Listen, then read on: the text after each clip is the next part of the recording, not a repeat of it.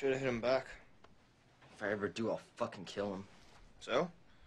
8 to 10 for manslaughter, get laid as often as you want. Tattoos and everything. It's gay heaven, man.